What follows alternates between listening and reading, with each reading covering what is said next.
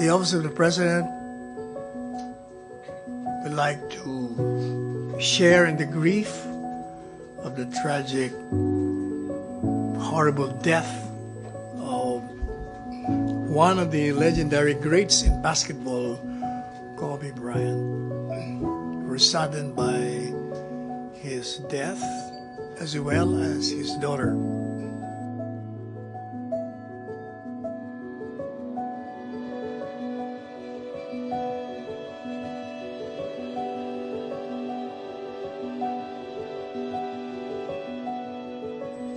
We remember that he was a frequent visitor in the Philippines and was well loved by his fans.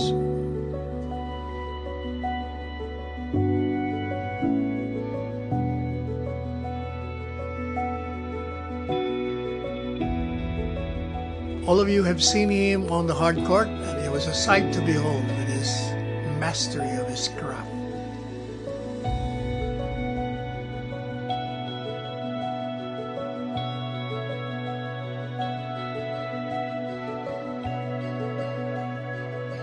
So we extend our deepest condolences to the family,